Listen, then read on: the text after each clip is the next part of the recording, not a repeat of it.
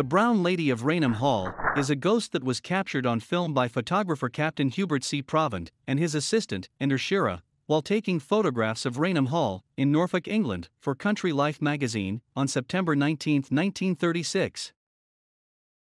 According to legend, the apparition is the ghost of Lady Dorothy Walpole, who was married to Charles Townshend, a man known for his violent temper.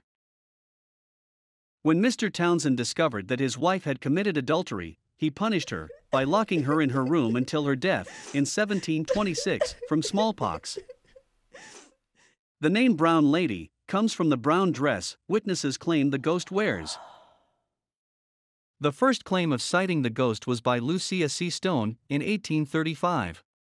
Several other people have reported encounters with the specter through the years. In some of the reports, she manifests with dark, empty eye sockets and a glowing face or grinning in a malicious and diabolical manner. Some skeptics have claimed that the famous photo of the brown lady is fake. Some claim that the image shows evidence of double exposure. Other critics claim that the image was produced by putting grease on the camera lens in the shape of the ghost. Is the ghost of the brown lady of Raynham Hall real? Leave a comment below. Tell us what you think about it.